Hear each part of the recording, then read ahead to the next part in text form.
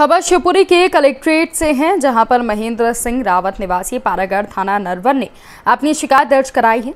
महेंद्र ने बताया कि स्ट्रीट शीटर पंचम सिंह रावत केले के चलते विगत दस वर्षों से वो शिवपुरी में निवास कर रहा है। कभी कभी वो अपने गाँव में जाकर अपनी वृद्ध माँ चाची से मिलने जाता है।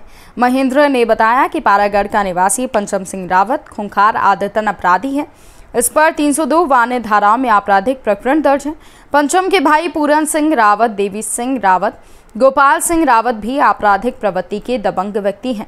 वर्षों से इन सभी का आतंक व्याप्त है। सभी आरोपी गढ़ में, पूर्व में हमारी कृषि भूमि पर कब्जा कर चुके हैं। इसकी शिकायत मैंने कई बार की है, लेकिन हमारी ज़मीन वापस नहीं मिल रही है।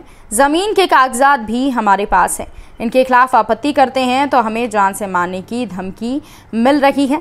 ज़मीन के कागज़ हमारे पास होने के बावजूद भी सुनवाई नहीं की जा रही है।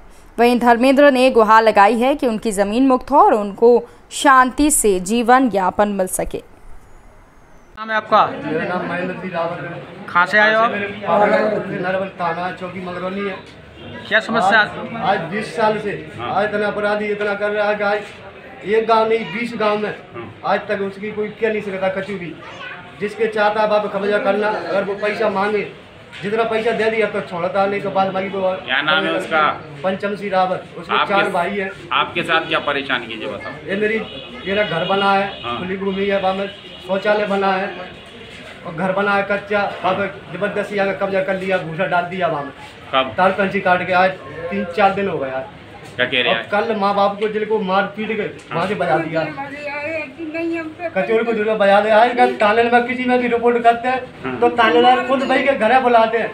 और घर बुला के फिर कहते हैं अब करो राजीनामा नहीं तो मारेंगे। कई बार मार खा चुके हैं।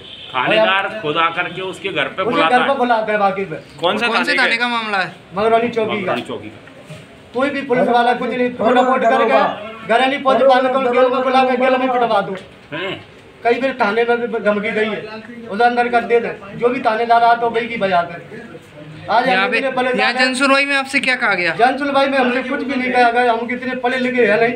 तो कभी बोल सके अगर जन सुनवाई होते तो आज जल्दी तो ये पीरो जाके होते में नहीं तो आज जय के आगे के नहीं रही आज कलेक्टर में भाई कुछ सुनवाई नहीं तो छिप रही ये तीन सालों बाद जा रहे हैं आखिरी बार। नहीं मेरे को अभी याद मत करेंगे। अगर हमारे कभी निचला में खा जाए गरीब आदमी जिला खा खाने पालो में चेंज में तो मजदूरी करके दे रहा मैं वादे आज गाँव में तक नहीं कुछ पा रहा। अभी अस्सी साल के दिल में मारे पीले कजूरे कर रहा कुछ पर ज़्यादा आज तक नहीं चली। मैं जैसे शिवरी में कई बात दे चुका भोपाल तक लेके बेदे आदेश भाई अस्सी साल करवाई लेकिन आकर दरबार कैसे क्या करते हैं? मैं कुछ समझ में नहीं आती सब वही में नहीं की हो? जाते पुलिस के अधिकारी कैसे भी आता है आज तक धमका चाहते थे मारपीट कई हो मेरे हमने सो तो मेरे मारपीट का ही है।